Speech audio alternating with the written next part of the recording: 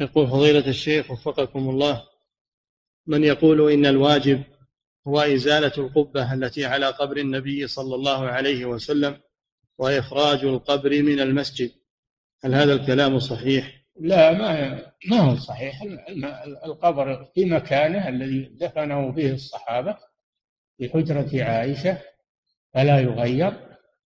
وأما القبة أمرها سهل لأن القبة سقف. وكانت الحجرة التي دفن فيها الرسول صلى الله عليه وسلم كانت مسقوفة أيضا كانت مسقوفة ولها فرجة آه، آه، إلى السماء. فالقبة بمثابة السقف الذي كان على الحجرة ما في بأس. نعم.